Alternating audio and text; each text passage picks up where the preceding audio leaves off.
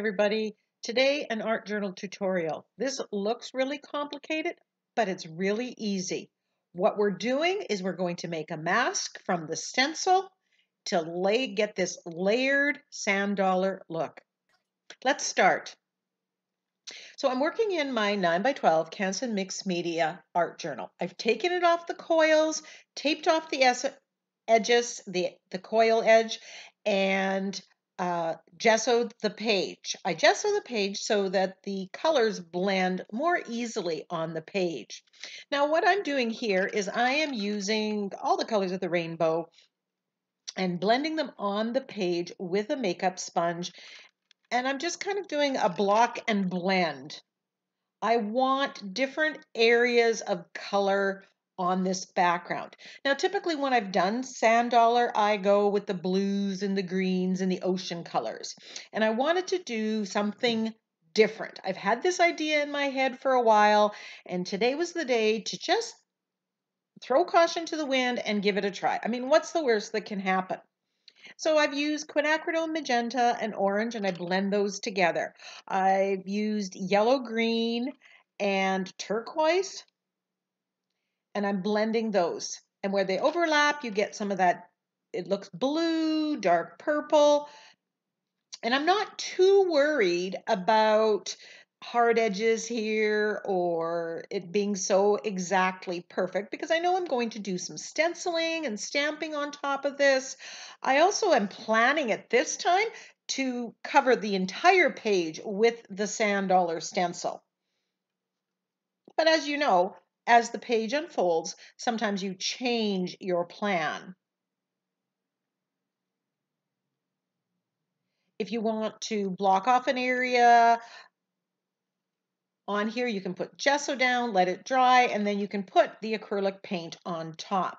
So once that is dry, and I am drying in between stages, I just don't think that it's necessary to show you that. I'm using this microbial stencil from the Crafters Workshop. This is the six inch one. It's these dots.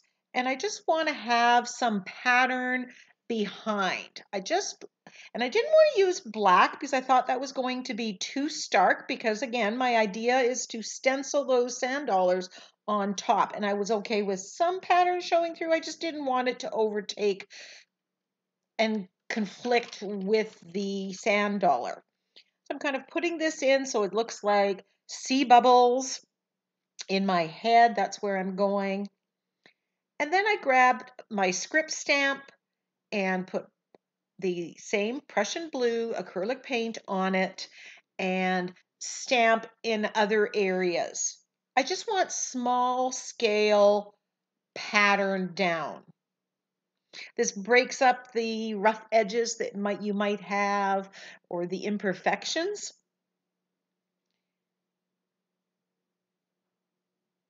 And when the sand dollars are on, some of that peeks through.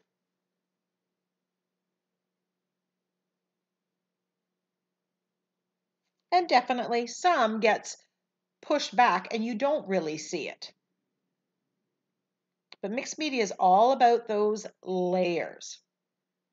So once I'm done stamping, I'm pretty much done the background here. Talk about simple. One stencil, one stamp, four colors, couple makeup sponges, and away we go. Now these colors, especially with that green in there, that yellow green, and the mixing with the orange, they really come to life and some of them look very neon. Now this stencil is called Sea Creatures and I love this sand dollar one. I also love the starfish. This has an open space and my idea at the beginning is to, I'm using white gesso and stenciling it on. And I don't want it to be completely opaque that was my idea at the beginning. I do change my mind as I go based on what I'm getting. Now, I cut out a mask by just stenciling on some copy paper and cutting out the sand dollar shape. And I'll be using those to give this layered effect of these sand dollars. which if you've actually seen a sand dollar bed, they do layer like that in the ground. However, when they're alive, they are brown in color, not this beautiful white. Now, the one thing I'm not doing here, which I, if I do this again on a canvas, which is my plan, this was my trial on a art journal page to experiment and figure some things out before I went on canvas. I will turn the stencil because I pretty much have the stencil, the sand dollar stencil facing the same way all the time. And I could have flipped it upside down to get a reverse pattern and just, or turned it a little bit more to give a little bit more variation to my piece. But right now I am really happy. Even though I changed my mind about the opaqueness of the sand dollars, I'm really happy with what's evolving in front. Colors are bright and there's popping. I'm getting that layered effect. And I could have left it as this was. And I'm going to experiment with this. I have the six inch stencil of the Sea Creatures one as well as the 12 and I am going to be playing with this some more. I have a few more ideas, so they may not end up being videos. So if you want to check them out, follow me on Instagram at Creative Kady.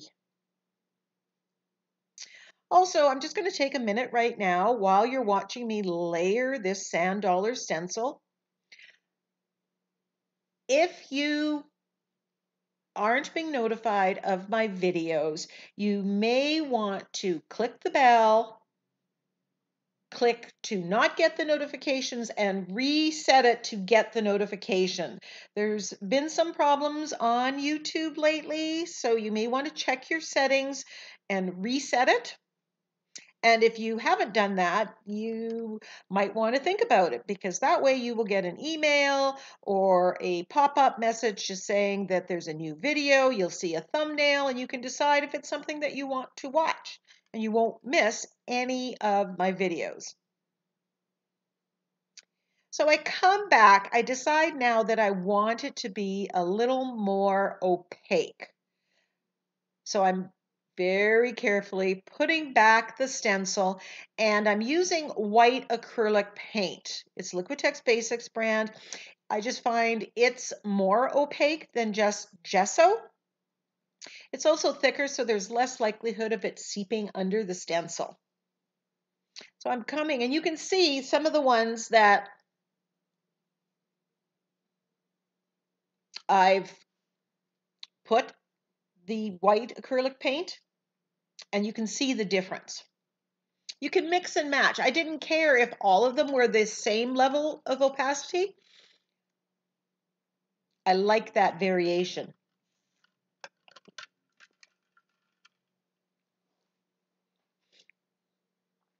Now, this background and everything on this page right now, there is no physical texture. So I'm going to, I'm going to, I'm making visual texture by layering these stencils. Now, I'm going to shade around the edge of the page, and I start off with Payne's Gray, which is a blue gray, and I switch to black for the edge of the page just to get a little more contrast.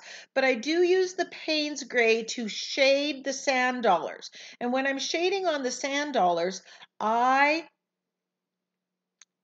am building, making it look 3D. I'm creating visual texture and layers. I'm using an angle brush and I'm using the floating acrylic technique. I have a video where I teach that technique.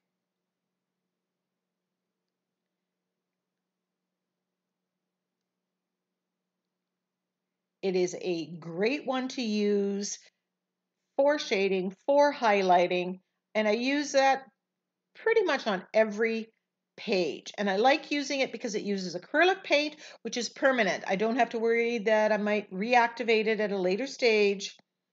And you can see how instantly by shading around these sand dollars, they're, they're popping off the page. And that's what I mean by creating visual texture or layers. And I chose the Payne's Gray because it's not as harsh as the black. So this takes a little bit of time. And I come back and I might add more. And I definitely did not video all of that because it's not exactly interesting for you to see. But I do want you to see how it changes and really makes the page.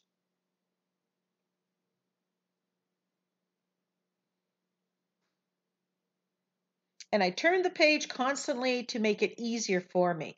So once that's dry, I am taking some gold paint. This is Liquitex Basics.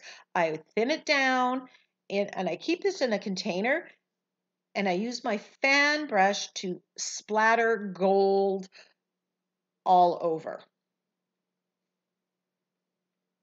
Let's just add some sparkle and makes this lovely page even more special. Everything's better with gold.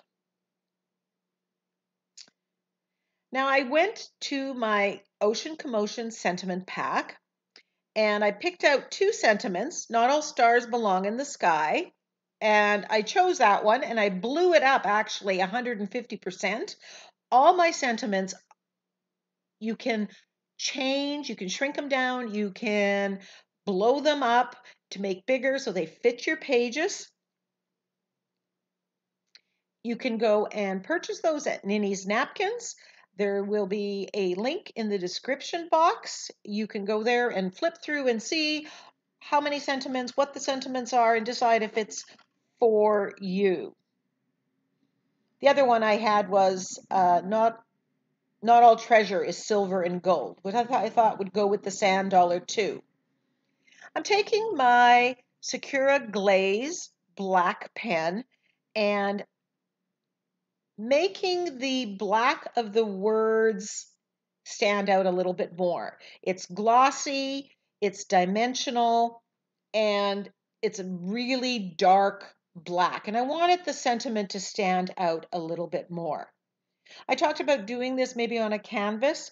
When I do that, I will print the sentiment out onto tissue paper, which will go opaque or go translucent around it.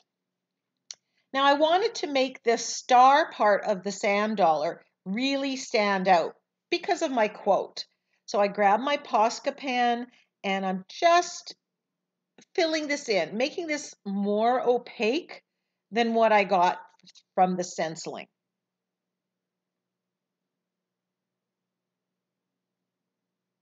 It's a little thing, but it added so much to the page. This video is under 14 minutes. This page probably took me under an hour to do.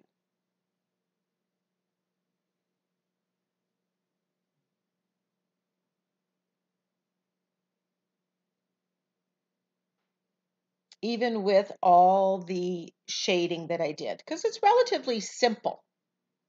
It, but it looks complex.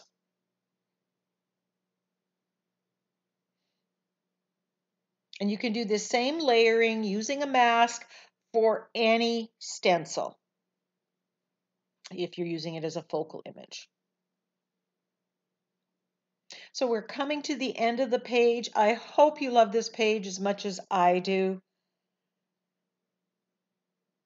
Give me a thumbs up, leave me a comment, subscribe to my channel if you're not a subscriber already. And until next time, go get creative.